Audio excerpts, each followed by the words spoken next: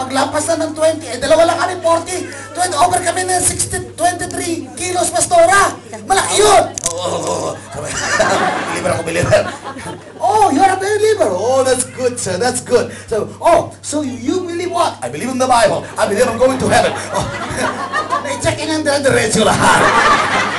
Oh, hallelujah. I'm a great believer. Bye!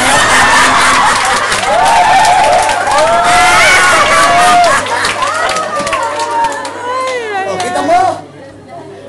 Yung believer, may nangyayari mga himala. Pero pag yan, please, can you give me special favor? Hihingi ka pa. No, you pay 20. you have excess. Ginagamit ng Lord, believer, oh. Hindi attender. Naghanap si Lord ng believer na bubukas ng mata ni Pablo. Nabulag siya. Sayo na ba kayo? Hindi, video.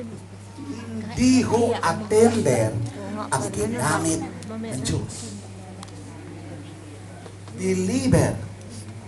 Okay, let's go. Continue. Are you learning? Yes! Sabi mo sa tayo, believer na ako. Deliver na ako!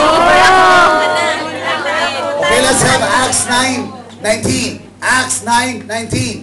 One, two, go. Let's read.